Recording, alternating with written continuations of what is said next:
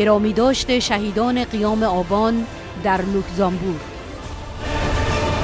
ایرانیان آزاده و حامیان مقاومت ایران در لوکزامبورگ یاد شهیدان قیام را گرامی داشتند و ضمن محکوم کردن جنایات ضد بشری دیکتاتوری آخوندی در سرکوب قیام شجاعانه مردم ایران از فراخان خانم مریم رجوی برای اعزام هیئت حقیقتیاب ملل متحد به ایران خواستار قرار گرفتن خامنه‌ای و روحانی و سایر آمران و عاملان کشتار بزرگ در ایران بر ادامه راه شهیدان و حمایت از کانونهای شورشی تأکید کردند.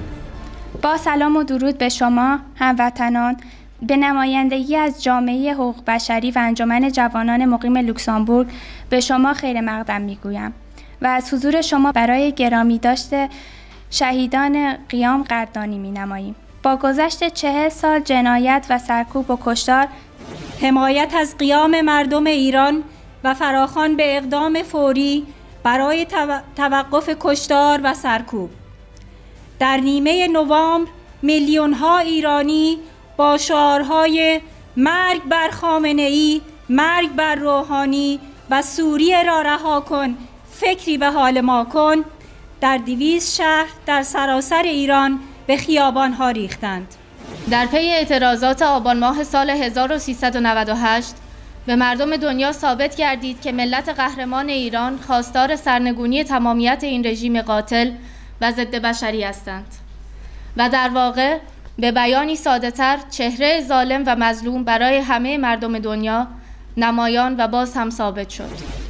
رژیم جنایتکار پیکرهای شهدا را به سختی به خانواده ها تحویل می دهد و قبل از اینکه اجساد عزیزان را تحویل بدهد پول گلوله هایی که سمت عزیزانشان نشانه رفته را طلب می کند البته این بیرحمی ها و شقاوت ها چیز جدیدی نیست. کشتار سال 60 و قتل عام سال 67 را به خوبی به یاد داریم.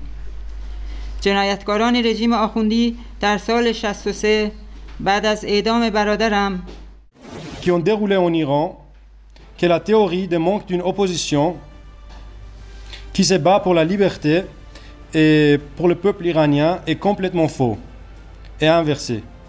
Il y a une opposition très organisée et efficace dans ce chemin révolutionnaire.